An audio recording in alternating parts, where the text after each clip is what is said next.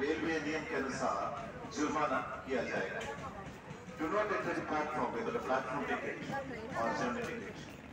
Penalty as per the Indian Railway Act will